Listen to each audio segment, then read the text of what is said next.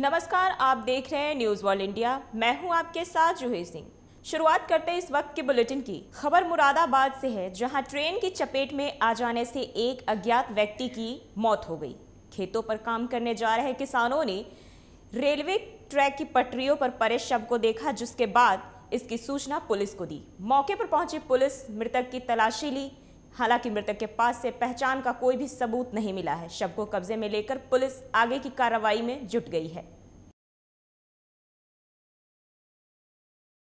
बढ़ते हैं अगली खबर की ओर। मामला काशीपुर का है, जहाँ तेंदुओं ने आतंक मचा रखा है। रिहायशी इलाकों को अपना निशाना बनाकर छुपे ये तेंदुए लोगों के पालतू जानवरों को अपना शिकार बना रहा है। लोगों ने डर से अब शाम होते ही निकलना घर से बंद कर दिया है। वहीं वन विभाग की टीमें लगातार जनता से सतर्क रहने की अपील कर रही है। तेंदुए को पकड़ने के लिए रेस्क्यू ऑपरेशन चलाया जा रहा है।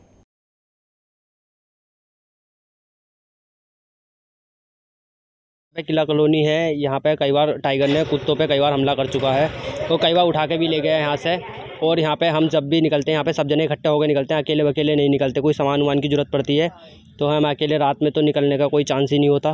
तो यहाँ पे वन विभाग वाले भी कई बार आए, उन्होंने भी कई बार कोई एक्शन कोई नहीं लिया यहाँ पर एक्शन हाँ आपको बता दें कि कुछ दिनों पहले मानपुर रोड में ये काशीपुर से लगी हुई कॉलोनी है, नीला नदी के किनारे पर कसम। तो वहाँ पर जो है गुलदार के देखे जाने की सूचना प्राप्त हुई। और कुछ एक हमारे पास में सोशल मीडिया में एक वीडियो वायरल हुआ था, वो भी मेरे पास में आया।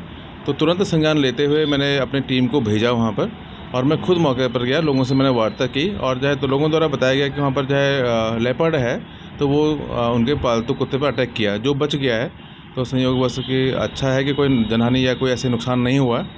प्रयागराज से मानवता को शर्मसार कर देने वाला एक वीडियो सामने आया है। दरअसल सोमवार को शिव मंदिर पर चल रहे भंडारे में प्रसाद लेने गए चौदह वर्षीय मासूम की करंट लगने से मौत हो गई, जिसके बाद पास के ही एक निजी अस्पताल में उपचार के लिए ले जाया गया, लेकिन तब तक उसकी मौत हो चुकी थी। पोस्टमार्टम के बाद शव को वापस ले जाने के लिए कहा गया। काफ़ी गुहार लगाने के बाद भी अस्पताल की तरफ़ से कोई मदद नहीं की गई और इसके बाद माँ ने बेटे का शव कंधे पर रखकर पैदल भीगते हुए चलना शुरू कर दिया। एक पिता जो है अपने बच्चे को कंधे पर लेके जा रहा है और ऐसा बताया जा रहा है कि उस, उसका जो है, उसकी मृत्यु हो गई थी बच्चे की और उसको किसी तरह का शव वाहन नहीं मिला। तो ये अभी आपके माध्यम से मेरे संज्ञान में आया हुआ है तो इसका एक उच्च स्तरीय इसकी एक जाँच करा ली जाएगी। यदि जाँच में कहीं से भी कोई लैब्स आते हैं तो उत्तरदायित्व निर्धारित करा जाएगा और दंडात्मक कार्रवाई की जाएगी। और किसी भी शासकीय जो इसमें राहत के तहत अगर ये परिवार आएगा तो उसको राहत भी दिलवाई जाएगी। अगली खबर शाहजहांपुर से है, जहाँ एक शिक्षण संस्थान के प्रबंधक पर प्रधान शिक्षिका के साथ दुष्कर्म करने का आरोप लगाया गया है।